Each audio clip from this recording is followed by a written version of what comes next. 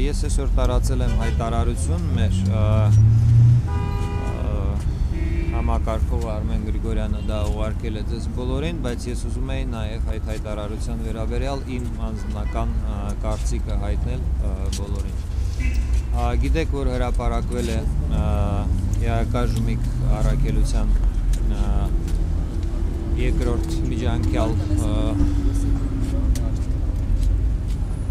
զեկույցը եւ դրա հետ կապված ես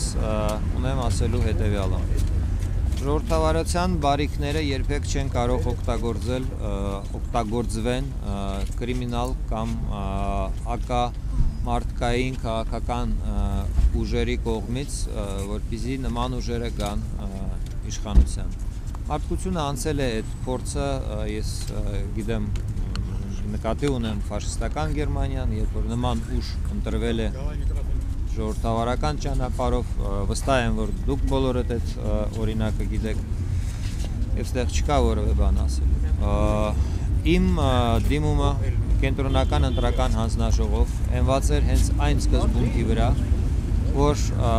Սահմանադրությունը խախտող քաղաքական ուժը, որի վարկագիծը հայտնի է բոլորին, հայտնի է հանրությանը, իրավունք ունի մասնակցել ընտրական process-ում։ Ոչ ոք չի վիճարկում, որ իշխող ցուցակցությունը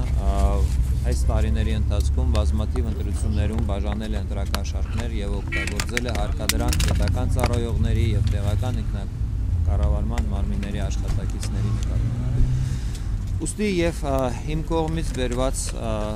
դիմումը, որը ներկայացել եմ կենտրոնական ընտրական հանձնաժողով, հենված էր ՀՀԿ պետությունների ժողովրդավարական ընտրությունները անցկացնելու վերաբերյալ գոյություն ունեցող պարտավորությունների փաստաթղթի 6-րդ պարագրաֆի 4-րդ կետի վրա, որը որ հենց մատնանշում է, որ համանadrությունը խախտող կուսակցությունները կամ տեխնացուները չեն կարող մասնակցել ընտրություններում։ Ես զեկույցում չտեսա այդ փաստի գնահատականը։ Ըստ ինձ դա նշանակում է, որ առաքելությունը շրջանցում է այս կարևոր փաստը, որը էական նշանակություն ունի ընտրությունների գնահատման ի սկզբանե գնահատման համար եւ աստորեն առանց ուշադրության թողնելով դա նաեւ անորոշություն ու մոլորություն կարող է ստեղծել միջազգային հանրության մոտ բոլոր նրանց մոտ, ովքեր որ նման զեկույցից փորձում են Հայաստանում քաղաքական իրավիճակի մասին ստանալ պատկերացում։ Ես գտնում եմ, որ այս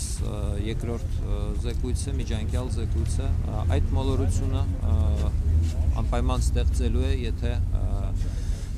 հետագայում մենք չտեսնենք ճշգրտումներ եւ իմ հայտարարության մեջ նշեցի, որ եթե